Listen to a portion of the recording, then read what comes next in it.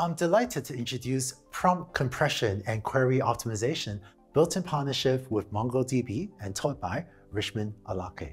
RAG, or Retrieval Augmented Generation, has moved from being an interesting new idea a few months ago to becoming a mainstream large-scale application.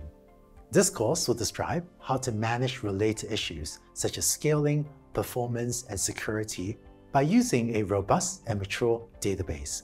Also describe techniques to reduce the cost of serving RAG applications by reducing prompt sizes. I'm delighted to introduce the instructor, Richmond Alake, who is developer advocate at MongoDB.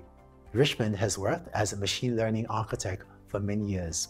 MongoDB is a widely used NoSQL database. In fact, many teams I've led have used MongoDB, and it also has added vector search capabilities to support semantic search, which is a key part of RAG. Thanks, Andrew. There are a number of ways to combine traditional and vector database capabilities to make RAG more cost-effective and performant. Let's use an example of building a conversational RAG application that lets users choose movies. In RAG applications, including large amount of retrieved information in the prompt for an LLM to process can be very expensive. In this course, you will learn how you can reduce the cost by making that content smaller and more relevant. One key technique is filtering. There are two types of filtering, pre-filtering and post-filtering. Say you are searching for movies, but you're only interested in romance movies. With pre-filtering, you would build an index of entries that only contain romance movies. You would then perform searches on that smaller set of entries. With post-filtering, the filter is applied to the results returned by the vector search to select only results that match the filter, say romantic movies. Retrieval results can also be limited by taking a projection.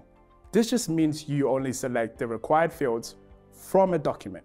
For example, you may only need to return a movie title and not the actors and film dates. And you can also re-rank the results from semantic search and move up the relevant results on the list. Say you're looking for a baseball movie. Semantic search on movie descriptions will return many movies about baseball. But to limit the return movies, you can then re-rank those results by sorting using maybe another field from the database, like average movie rating or number of reviews. A final technique is prompt compression. This takes all of that retrieved information and instructs a lower-cost LM to compress the data, thus ending up with a shorter piece of context to include in the LM prompt used in the final inference step. This can often reduce the context size by more than maybe a factor of two. So I hope you sign up for this course and learn all these techniques for building and deploying better RAG systems.